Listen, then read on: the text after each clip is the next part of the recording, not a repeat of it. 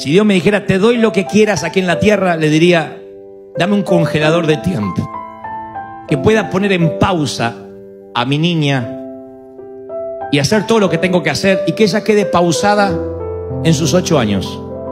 Y que dentro de cinco o seis años míos yo vuelva y ella todavía tenga ocho y me esté esperando. Yo quisiera pausar, pero la vida no espera.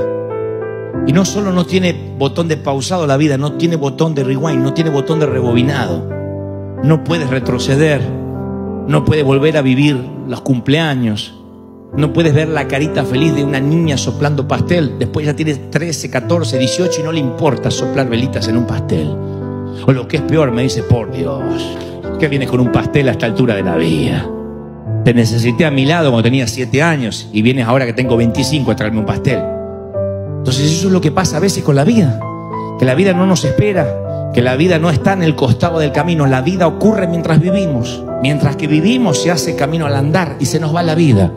Y un día nos damos cuenta que como abuelo queremos resolver lo que no hicimos como padre y no alcanza.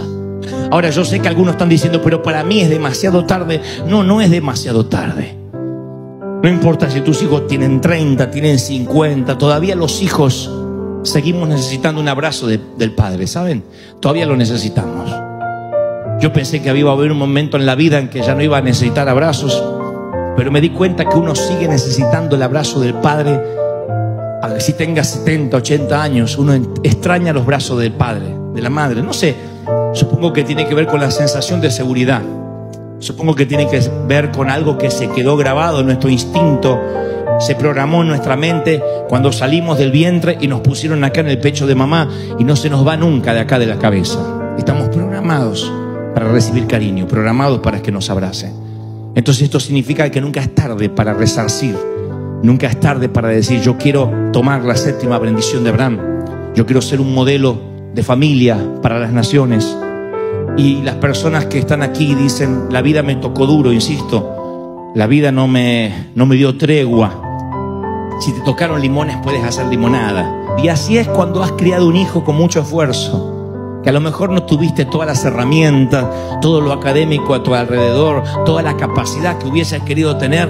Pero hasta donde te da la cabeza dices, con lo que tenía, yo logré poner algo bueno en la sociedad. Con lo que tenía yo me esforcé. ¿Cometiste un montón de errores? Claro que sí, ya te profetizo, los cometiste. ¿Por qué? Porque eres padre, porque soy padre. Porque los padres metemos la pata. Porque cuando aprendemos a ser padres, ya nos tenemos que morir. Entonces todos cometemos errores. Si hay acá un padre y dice, yo soy perfecto, ese es tu error, creerte perfecto. Porque todos cometemos errores. Y no vamos a ser nunca los padres que ellos quisieron tener.